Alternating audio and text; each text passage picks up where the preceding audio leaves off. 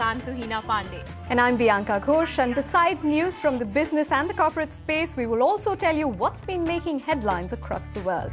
Here's a look at the top stories first in the headlines.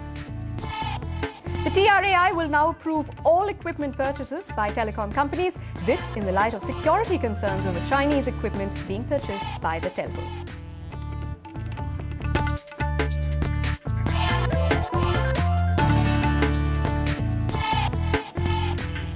All right, let's kick it off with our top story this evening. DOT, Department of Telecommunication, has come down hard on the telcos, expressing security concerns, this time specific to equipment purchases. I'm joined by my colleague Arijit Banerjee to help us understand this development. Arijit, how exactly is this going to work out? And isn't DOT really stretching this entire security concern away a little too much? Tuhina, actually, there are mixed, feeling, uh, mixed feelings within the telecom industry. Uh, many of the operators, of course, are conscious of the security issues being raised.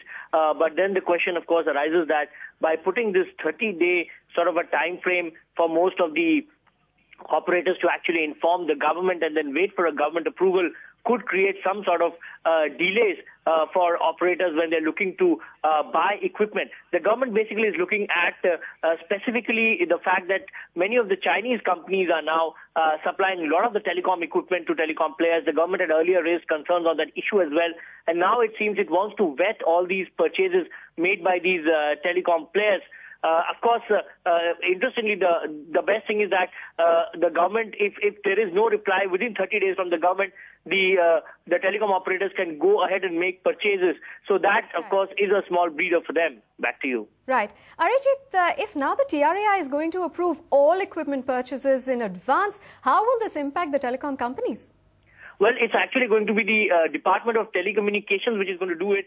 Uh, the telecom regulator, uh, TRAI, will not get into this. It will be the Ministry of Communications which will be doing it. And uh, uh, what it will mean, of course, uh, for most of the operators is the fact that they will need to uh, uh, get this approval. Without this approval, uh, it will be difficult for them to make purchases, uh, even though uh, uh, this could create some sort of procedural hassles.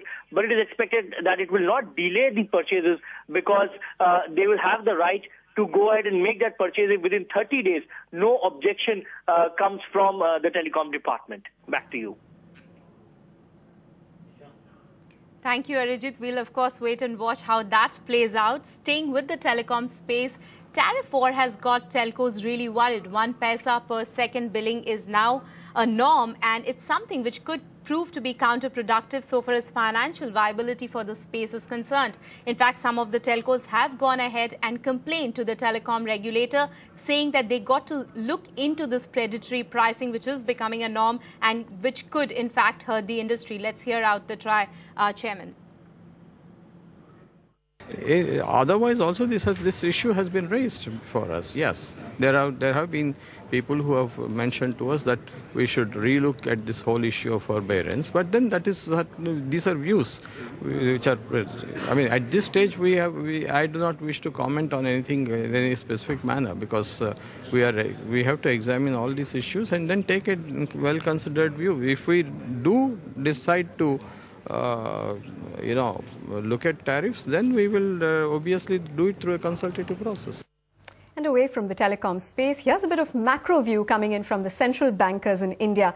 The deputy governor of the RBI, that's Subir Gokarn, today he said that high food prices may raise inflationary worries even further. Data on Thursday showed that prices, food prices, rose 17.5% in the 12 months to November 21st. Now, in that light, the deputy governor signaled that the RBI may quicken measures to curb the increases in prices.